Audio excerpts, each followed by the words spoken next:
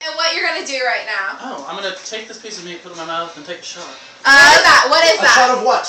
I think it's bacon vodka. Bacon vodka. Bacon what? Bacon vodka, my sir. Do it.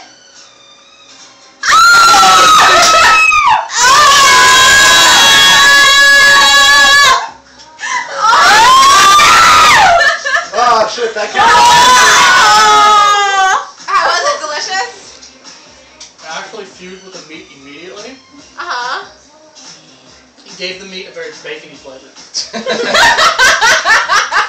but delicious nonetheless. oh, sweet bacon. And he did this all for all you can eat ribs.